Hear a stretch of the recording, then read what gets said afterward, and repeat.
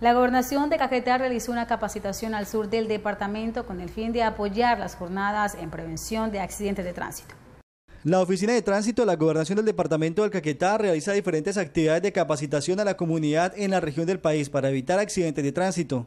Bueno, sí, eh, la semana anterior terminamos con el municipio de Belén, más de 700 eh, entre estudiantes y, personal eh, del municipio.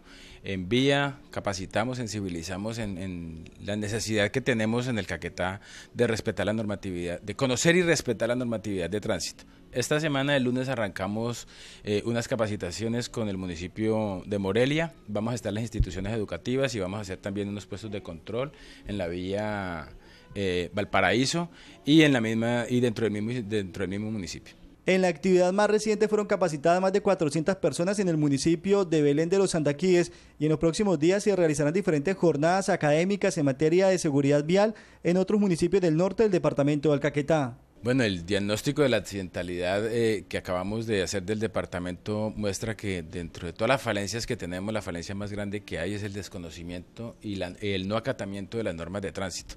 Entonces nos hemos centrado en eso, en tratar de inculcarle a las personas eh, eh, que se debe respetar las normas de tránsito, que tenemos unas responsabilidades cuando somos actores de la vía, bien sea peatones, bien sea ciclistas, motociclistas o conductores de vehículos.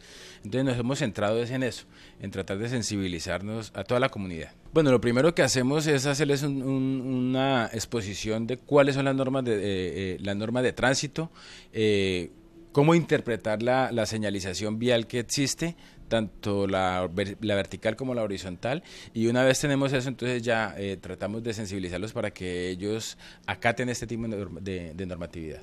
Estas actividades se hacen para prevenir accidentes de tránsito debido a que en los últimos meses estos accidentes se han incrementado dejando varias víctimas mortales y varias personas heridas que han sido trasladadas a diferentes centros médicos. En la mayoría de los casos es por exceso de velocidad y el irrespeto de las normas de tránsito.